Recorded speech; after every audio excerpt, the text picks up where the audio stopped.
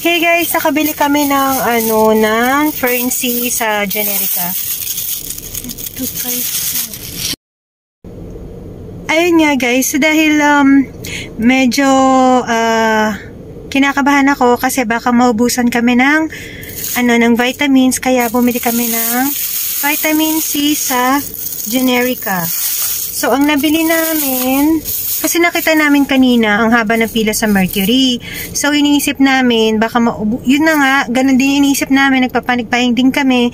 Iniisip namin na baka maubusan kami ng Frenzy, which is, muntik-munti ka na. Kasi ito, nakabili kami ng apat na box ng, ito, ng Frenzy, guys.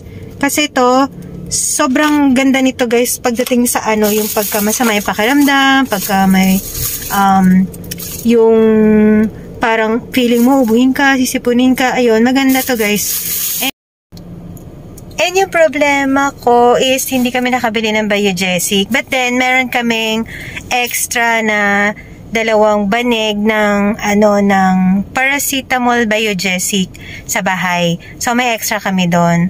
Kaso nga lang ayun, um, wala kaming additional na if ever man na kailanganin. Pero Marami naman yun. Siguro naman hindi naman namin maubos yun. Huwag nyo lang pansinin yung itsura ko guys. Para akong ewan. ewan ko, ang gulo-gulo at ewan ko, ang gulo-gulo ng buko.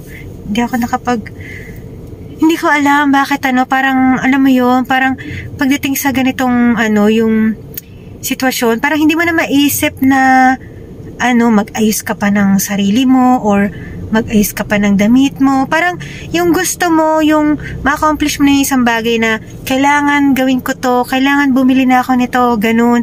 Parang hindi naman dahil sa pagmamadali or what, pero alam niyo, hindi niyo na maisip uh, gawin yung para sa pansarili nyo. Yung, ini- yung iniisip niyo na lang parang yung bili na yung gamot and maging okay na ulit yung mundo, na sana bumaba na ulit yung bilang ng ano ng may positive ngayon. And sana guys kayo nasa mabuti kayong kalagayan at uh, and maging okay po sana tayo lagi. Lagi po tayo mag-iingat. Um, isipin din po natin yung mga nasa paligid natin and yung pamilya natin. Uh, pag-ingatan din natin sila um, kung nasa labas man tayo, extra ano tayo, um, ingat at uh, wag natin uh, tatanggalin yung mask natin.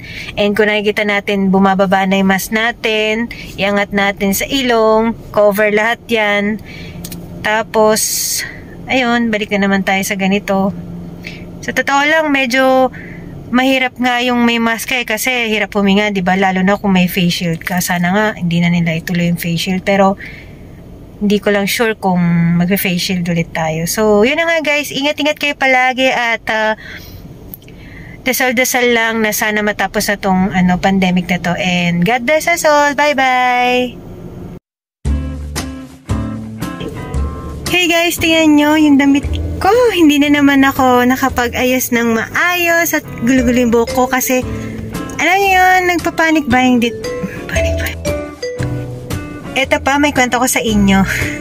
Kung mapapansin nyo, nakapambahay lang ako.